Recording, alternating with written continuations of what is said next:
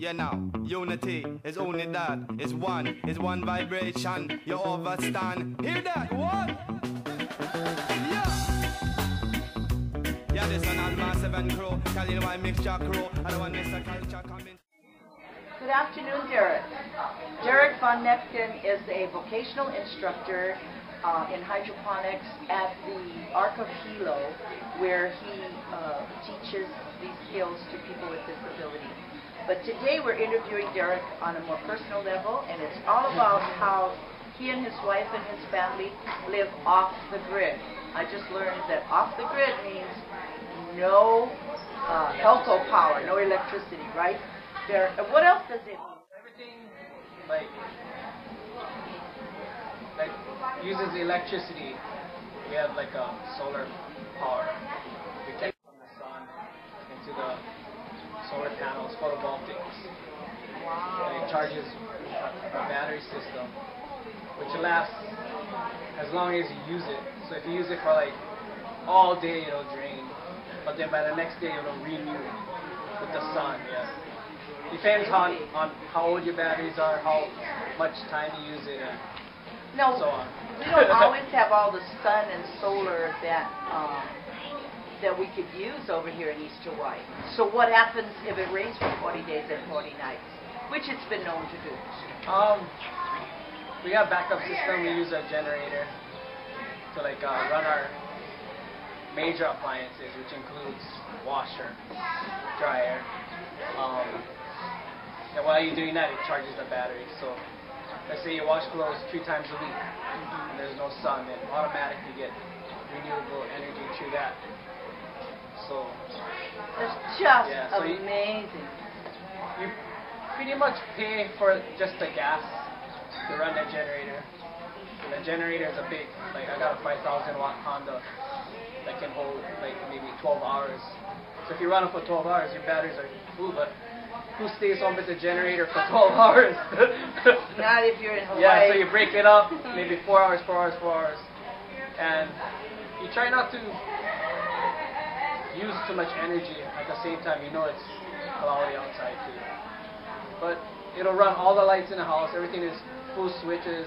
So, uh, what do you call it? Programmed to work. And if it doesn't work, it'll shut down. Wow. Then, last case scenario, you have no gas in the generator. Candles. but that's fun. Important to have candles. And you have a family, you have children, you have a little baby. Yeah. Um, We, we got everything. amazing. We got everything. Um, we used to have a computer, but we got TV. Like I said, we got lights in every room. Um, my son has PlayStation. Yeah, I was gonna everything. Yeah, you can do anything. PlayStation, guitar, electric guitar, anything can go on it. That is just phenomenal. Would you, if I asked you to start my daughter and her husband and children off off the grid, could you teach them how to do this? Um, you can it depends on the person if they want to do it. Like my wife, she grew up doing that. She lived in Orchid so Orchid Land they had no power before. Right, right, Where I'm at in in the acres, Hawaiian acres, there's there's lines, but you gotta tie in, and it'll cost you money to tie in. Big time. Yeah, you gotta pay pay some kind of charge, SSTP charge. So, okay, so you decided to be off grid Yeah, for your own economic reasons, etc. How much money do you save every month for?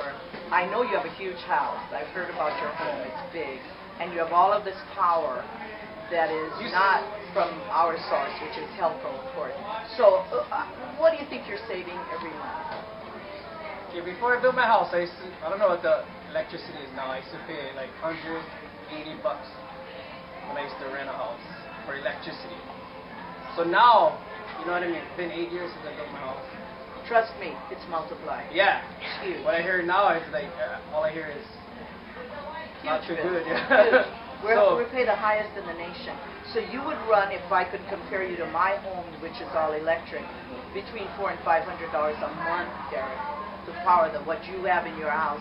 I have the same. I pay like 120 right a month. now. Yeah. Which For- is for we like we run our propane stove, Ah. propane water heater, oh. and propane refrigerator. So So you pay for that, of yeah, course. and that lasts pretty long. Depends on how long your showers are, how long you wash dishes, uh, how long you're baking. Do you think your children are gonna? They're teenagers already. Are they gonna probably follow suit and, and live off grid when they get married and, and grow up and Well- have family?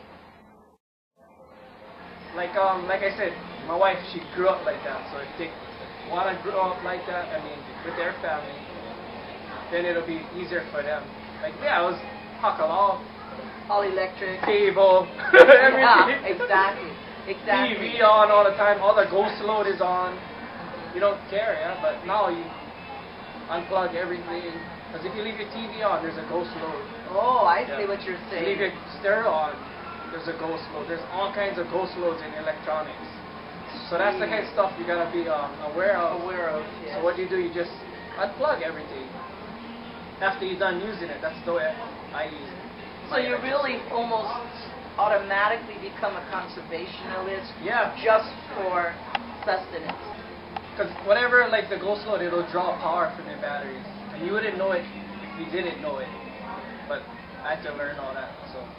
That's just amazing, Jared. I'm so proud of you and your family and the fact that you work with us here at the Arc of Hilo.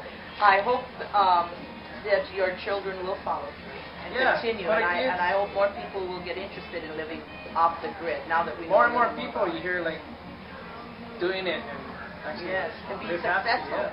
Live happily ever after. Well, thank you again, Derek Von Nechten. Uh, we appreciate it, and our class six of the Wumal series appreciates it. Thank you. You're welcome. The people looking for a little fun to do. Outside the sun, it shines under the endless sea. But we don't need no greed, cause in